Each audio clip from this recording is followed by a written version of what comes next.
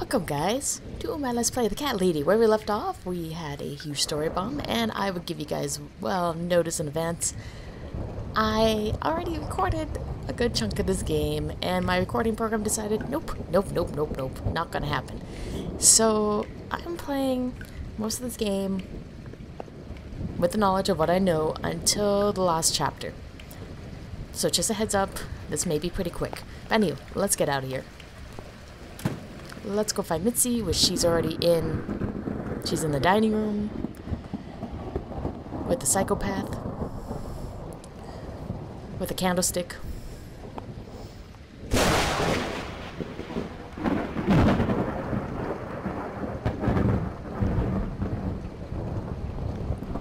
Of course, this guy's just crazy.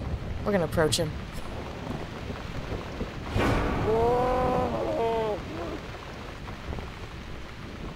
Sick son of a bitch.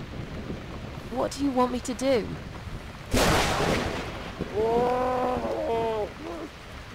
I don't understand.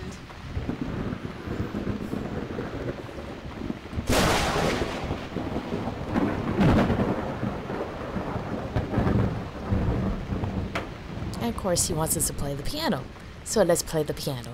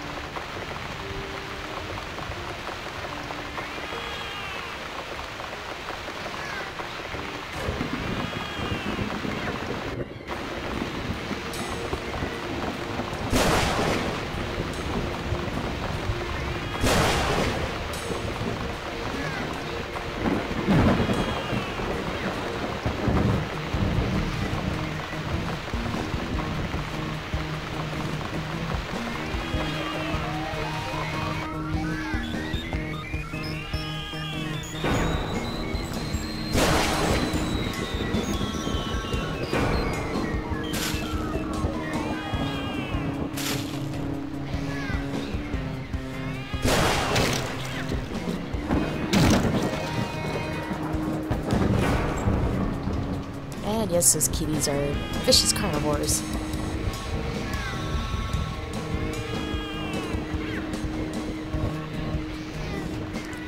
Anyway, let's get Mitzi out of here.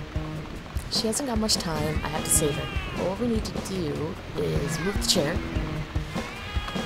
Not sit on it, but push it.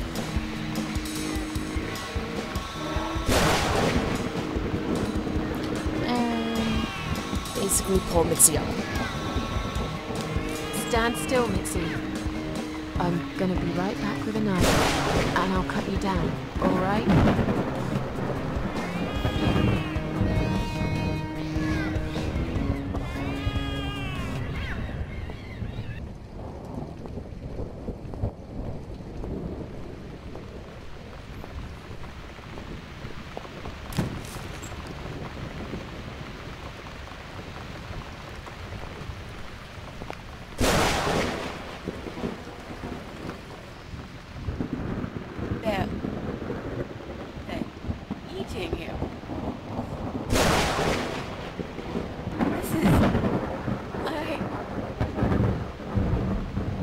Don't look, Mitzi.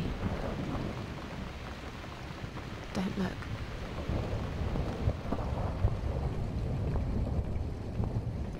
It's kind of hard not to.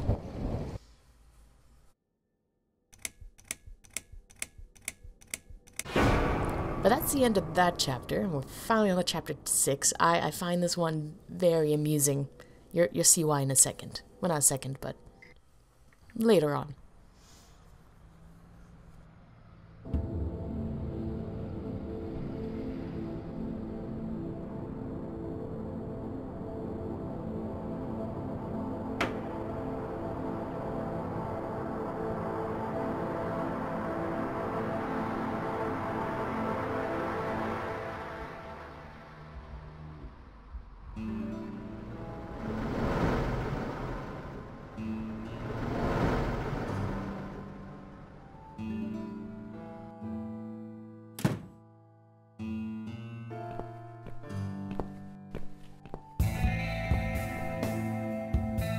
Really going to do it, aren't we? Yes, Mitzi. You will finally get your closure. Maybe I will get mine too. Did you take that map with you? Yes. We can always refer to it if we get lost. I've lived in this building for many years. I won't get lost, Mitzi. But it'd be a good idea to cross people off. Once we're sure it's not them, it might give us a clearer picture of how far we've got. Right. Okay. Good luck, Mrs. A. Mitzi, are you sure you're feeling up to it? This recent incident, it must have been pretty tough for you. No, I'm good. Never felt better, Mrs. A. Now, I'm still curious what they did with the body. But anyway, we do have Mitzi now. We can use her for, like she said, what it says, locks, lock picking and asking for advice. But unfortunately, I know what to do here, so let's examine this door. Joe Davis lives here with his wife. I haven't seen them before for a while, though. Maybe they're gone for holiday. Sure. Sure, totally. I think I heard something. No, it's probably just my imagination. And let's knock on the door.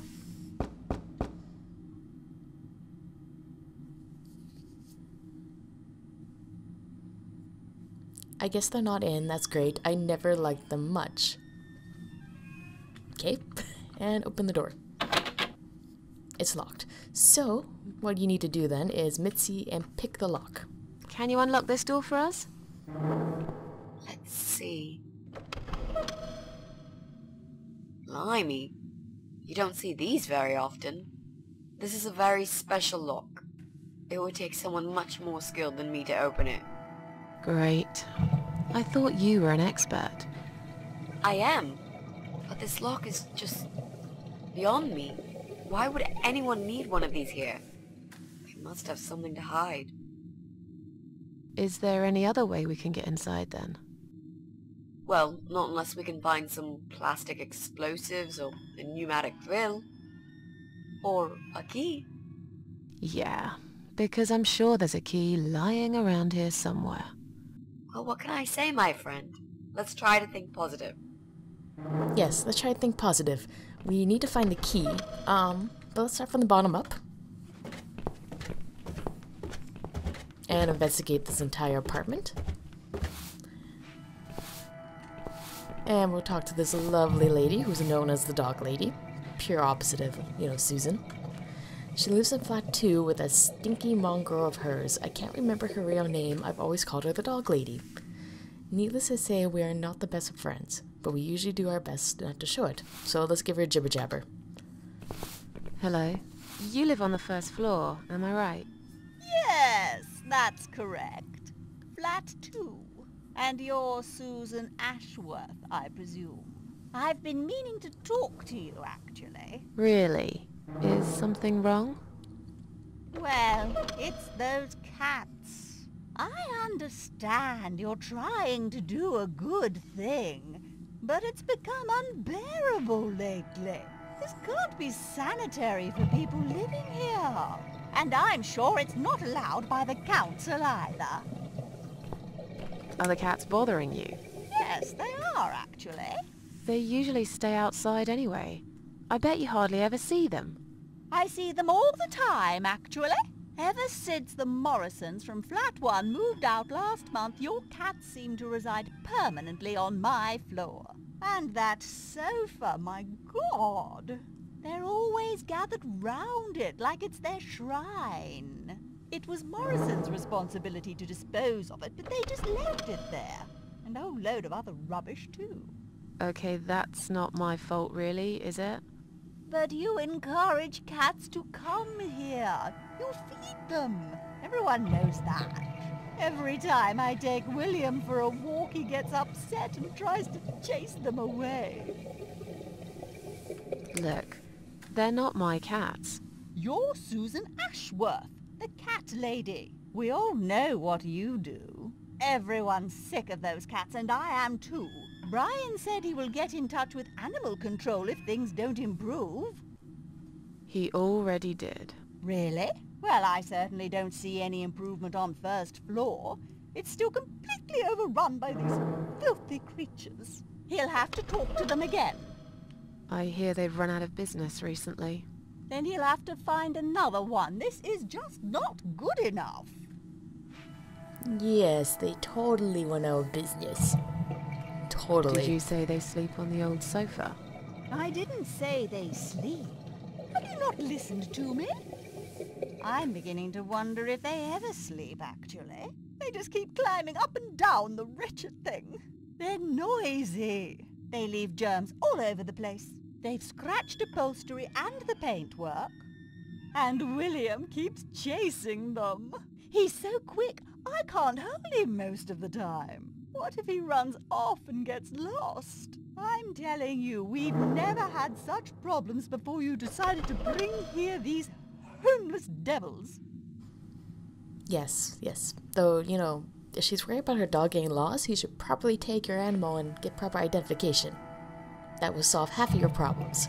And also put him on a leash when you're going outside for walks.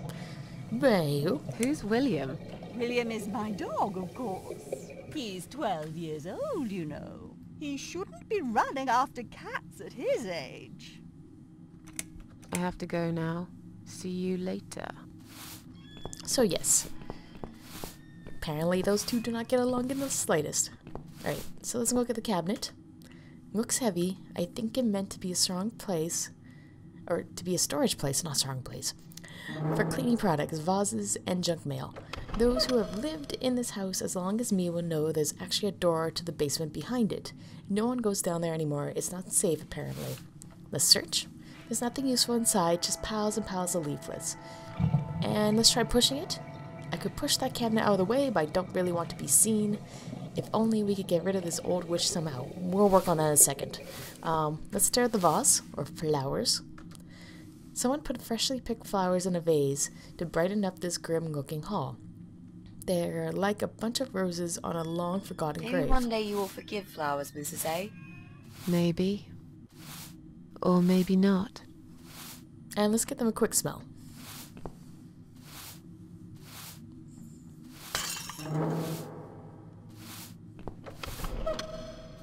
I'm sorry. I didn't mean to push it. Don't worry, Mrs. A. Could have happened to anyone. I'll clean it in a minute. But please, be more careful in the future, yes? Yes, we will be. You be more careful, nosy old witch. Um, now what we need to do is take pieces of glass. And those will have a purpose in a second. Now let's look in the mailbox. It's a communal mailbox. It holds all tenants' mail in separately locked compartments. Let's open. No mail for Susan. Sad panda. Now they're locked. I wonder. I wonder if I could do this beforehand. Um, let's get Mitzi to lockpick. Do you think you can unlock this mailbox? Sure, but not with that woman over there looking at us over her shoulder. She's always been a nosy old cow. So yes, we need to definitely get rid of her. So with the ground floor basically examined, let's head up to the first floor.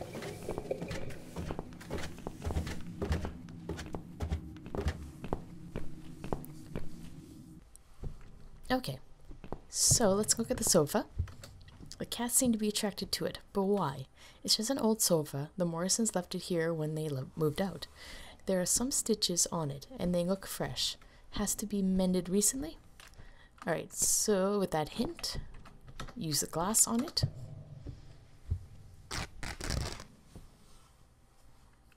And let's reach inside.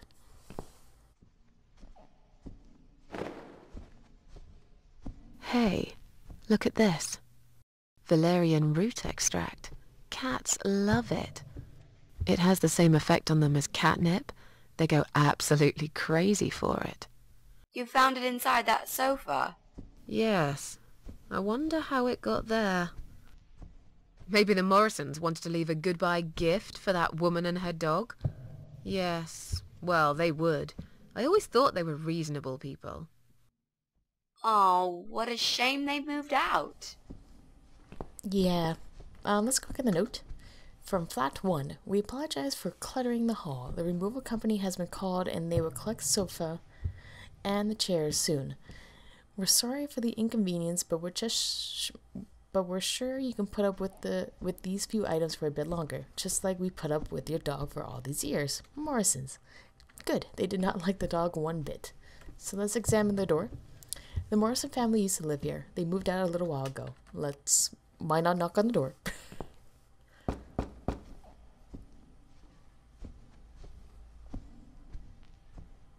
There's no one home. Of course not.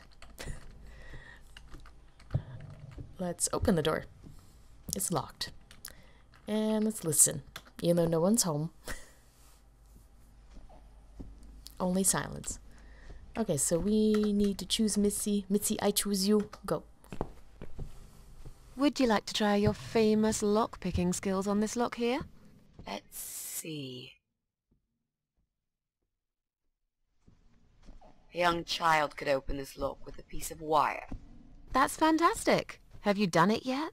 No, I can't work when you're looking over my shoulder. Do you mind? No, sure. I'll just walk away for a minute and stare at the wall if that's what it takes to get this done. Thanks.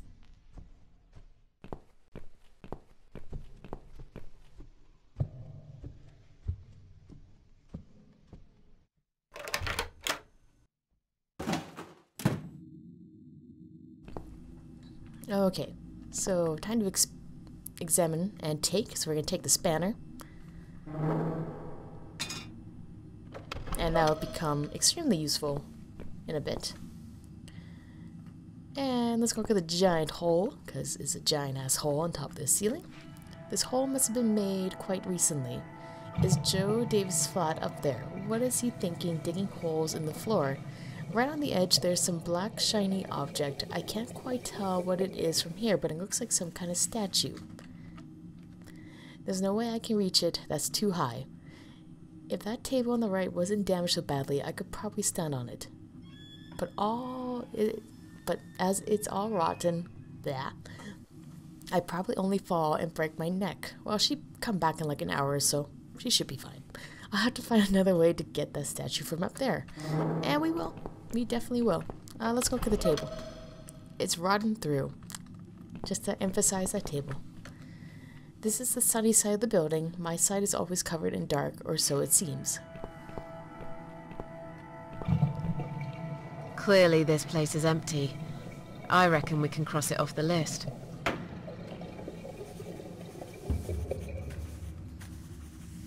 And we have one place down. That is fantastic. Mrs. A?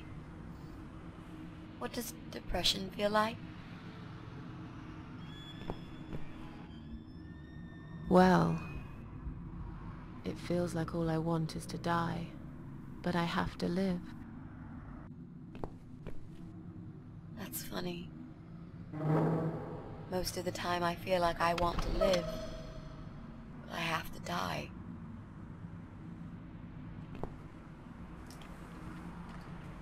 Oh, let's look at the socket. Just an ordinary electrical socket, nothing special. So let's get out of here. And we'll take a look at the dog lady's place, or what we can so far.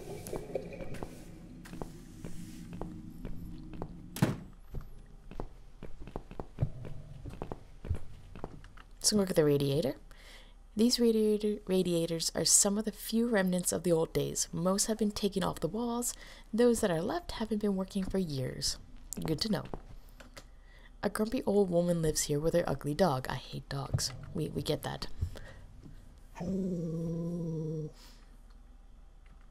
And just for shits and giggles, let's just knock on the door.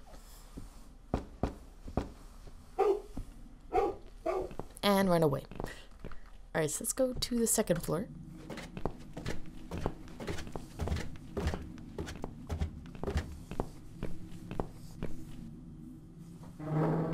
Okay.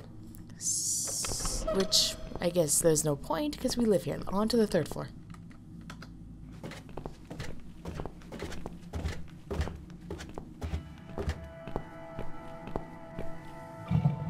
Okay, let's take a look at the bicycle. Since Brian doesn't own a car, every day he rides his bicycle to get to work. It's not just his pride and joy, but also his only means of transportation. I bet he'd be gutted if someone happened or something happened to it. Yes, let's kick it then. As much as I like to, the noise would only alarm him. I'm sure I can think of a better way to get back at Brian. Well, there's the crank. How funny would it be would that be if the crank went missing? He probably wouldn't even notice until the very last minute when he's all ready to leave for work with no time to spare. Then let's remove it. It can't be done by hand. I'll need the right tool to remove it. We do have the right tool. So let's use the spanner.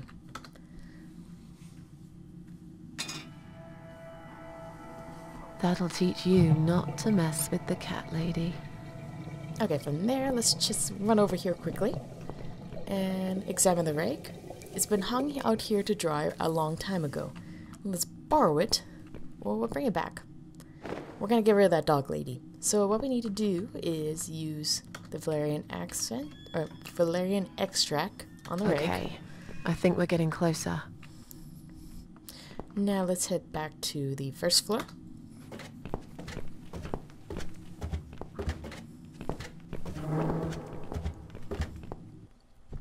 And from there, we need to use the rag on the radiator. We can, well, let's examine. It's soaked in valerian root extract. Cats will move to wherever I put this rag. And smell it. I don't find it very pleasant myself, pro but probably, but I probably would if I was a cat. Then let's use it. Come on, guys. The body moved over here. And let's go check on them.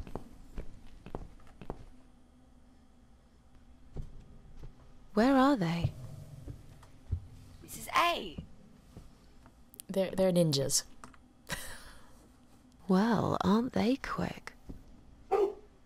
This dog is making quite a racket. Someone should complain to the owner, don't you think? Definitely.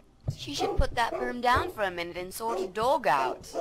Okay, so let's go down to the ground floor and complain. Because our dog is very noisy. No wonder the neighbors moved out.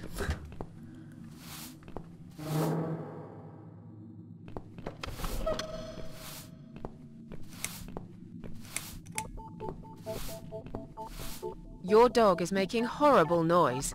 Can't you do something? It's probably because your wretched cat's upset him again. Poor William. I'd better check on him.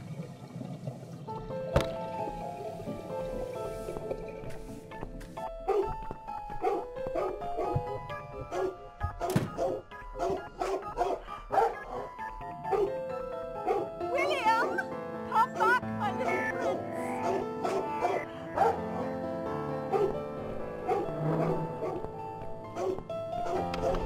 Are you sure the cat'll be alright? Please. These cats can easily outrun some old mutt.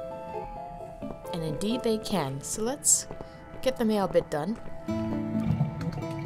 Do you think you can unlock this mailbox? I think I can most certainly unlock this mailbox. Then do it quickly. Someone can come in any minute.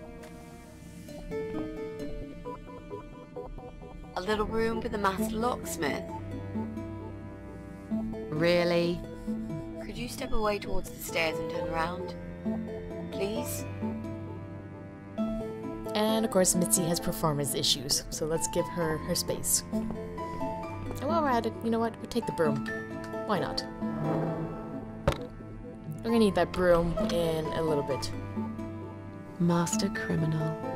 If anything.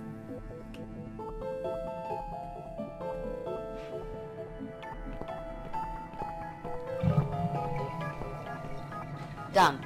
Here's all the mail. Hide it in your pockets and let's get out of here. It was mostly junk mail and leaflets. I threw those away. Okay, let's see what kind of mail we have. We have a letter for Pauline and Joe. So let's examine Pauline's. It's addressed to Pauline Summers. She's the young mother who lives in flat 8. Not here. Oh, yes. We have to kind of leave the area. Um, but right now, let's push this out of the way since our nosy tenant is not here. I'm going to push this cabinet out of the way. I remember there was a door behind it. It's too heavy. I don't think that's gonna work. Are you kidding me? I'll show you how it's done. Stand back.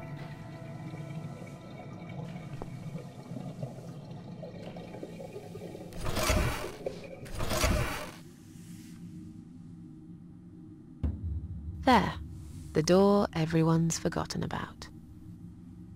Wow. You're stronger than you look, Mrs. A. Yeah, perhaps I am.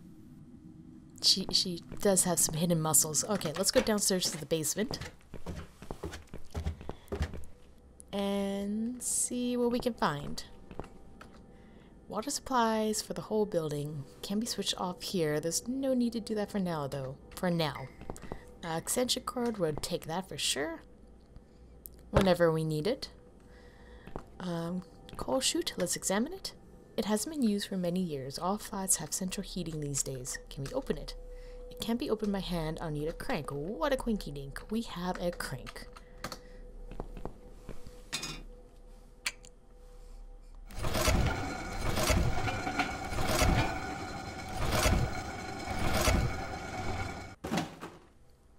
Alright, let's examine. It's filled with coal, dirty stuff. And let's examine the tin, the paint. It's red, the color of blood. Okay, can we open it? The lid is stuck. Dried up paint is holding it firmly like glue, so no. I'll need some tool to pry it open. We'll get to that. And can we take it? I'll take the tin once I manage to open it. It's of no use to me right now. Well, damn it. And let's examine the sign. Quiet Haven Hotel. Never heard of it. What is this sign doing down here anyways? It does have a purpose, just not in this game. Hmm. I think I've got an idea. I know how I could pay Brian back for all that he's done to me and the cats. Brian. The guy from Flat 6, right? Yes, Brian. That nasty piece of shit. He deserves to be punished, you know. And this wedding dress will be perfect for this. You ever heard the legend of the cat widow? The cat widow? No, can't say I have. Well, you're not from around here. But I'm sure Brian knows it. He grew up in this city, just like me. So, what's it about? It's an old story about a ghost cat who takes a human form to haunt her killer. Wow, that's pretty crazy, Mrs. A. Do you really think we can pull it off? Yes. Yes, of course. We just need to prepare. A good costume will do the job. This dress, we can alter it. We'll need some red paint too. Are you sure about that? I promise this will work. And it will give us a chance to check his computer. If he's got one. Okay, so what do we need? Well, basically, we need three things. Red paint. There's a tin here. We could use that. The dress will make a great costume. We just need it in black. Also, it should look damaged. That's important. Cat Widow is a ghost after all. I'll need some scissors for that. We need some kind of mask. I don't want him to recognize me, obviously. So yes, we need to find those things, and we will eventually. But I'm gonna end the episode here, guys. Thank you so much for watching. Hopefully you're enjoying the series so far. I apologize if I know what's gonna happen in this chapter. I, I really enjoyed my what I was doing recording wise, and unfortunately, shit happens. But I would do the best I can. Um, but yeah, let me know what you guys think. Like, comment, subscribe so you can keep up to date on my videos, and all that fun stuff. And with that, you guys have a good day, and I'll see you in the next one. Bye.